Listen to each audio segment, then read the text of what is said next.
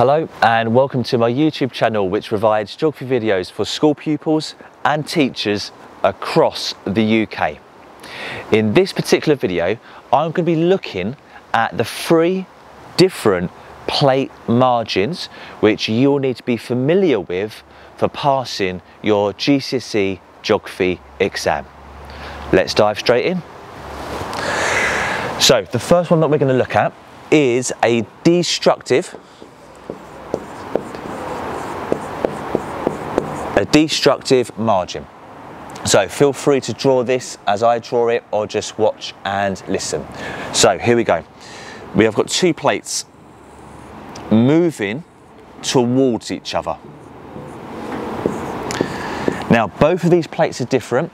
This one here is an oceanic plate and this plate is a continental plate. So let's just um, define both of those. Oceanic obviously is carrying an ocean and continental is carrying land. Now where these two plates meet here, the oceanic plate, because it's denser, is forced under the continental. The correct term of saying that is it's subducted under the continental plate. So this part right here this is known as the subduction zone. And there it goes, the oceanic plate is being forced under the continental.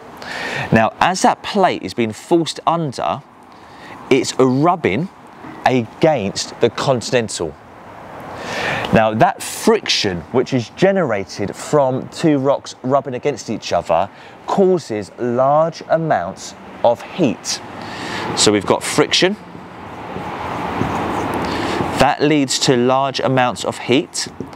And of course, that heat is so intense, it leads to this rock here melting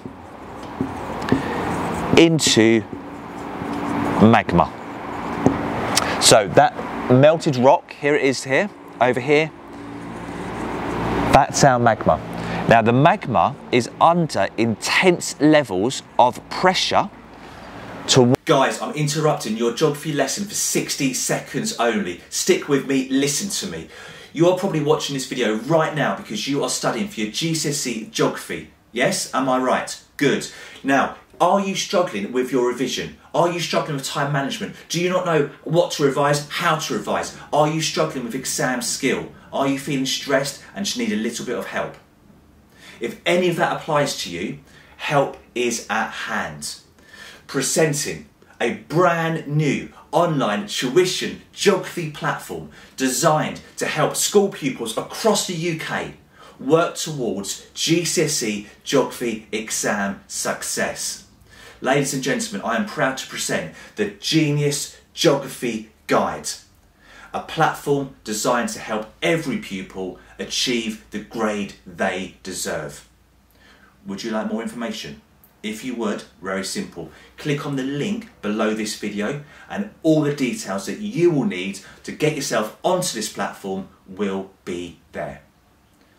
Now back to your geography lesson. Want to rise to the surface. So the pressure is forcing that magma to rise up, rise up, rise up. It's pushing bits of rock out of the way, keep rising, keep rising, keep rising.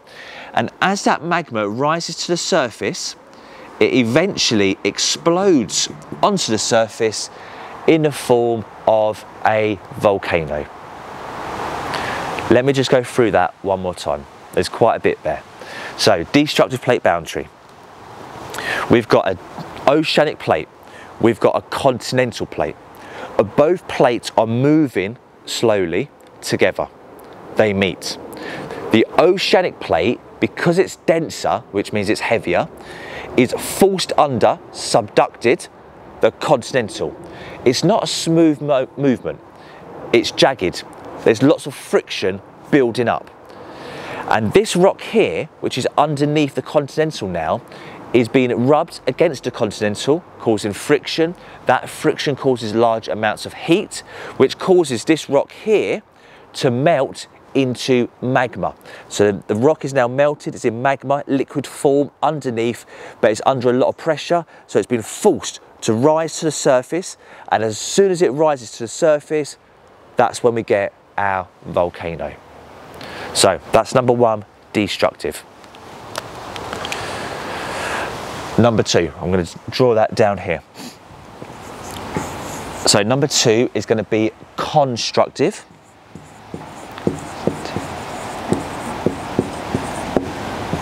Now a perfect example of a constructive plate margin is the Mid-Atlantic Ridge.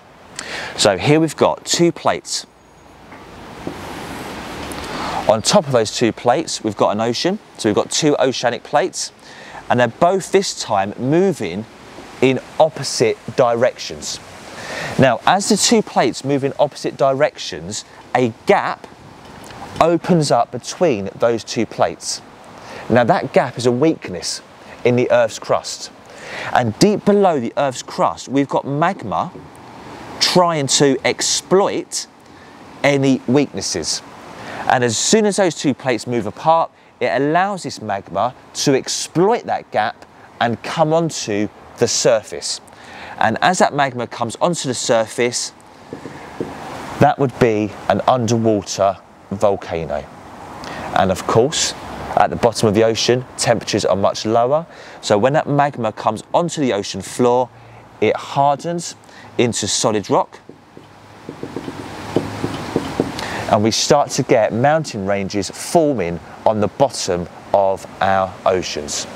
And of course, there may now be another eruption, a future eruption. So more magma comes out, goes on top of that, hardens. There could be another eruption. And you can see how mountain ranges are forming on the bottom of our oceans due to magma coming up from deep under the ground.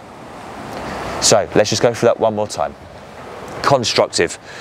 Perfect example is the Mid-Atlantic Ridge, where you've got two plates, both oceanic, moving in opposite, this time opposite directions. They're moving apart. And as they move apart, there's a gap that opens up between the two plates. That gap is a weakness. And deep beneath the, these two plates, under the ground, we've got magma trying to rise up to the surface under immense pressure. And when it gets that little bit of weakness, that, that gap it can exploit, it goes through that gap onto the ocean floor in the form of an underwater volcano. That magma hardens and forms um, underwater mountain ranges. So that's constructive. One more. We're going to draw this one here. So the third one is easy to remember because you just think of a, a political party is conservative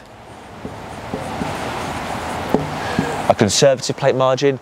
Now, with this one, there's two things that could happen, okay? So the first thing that could happen, you could have two plates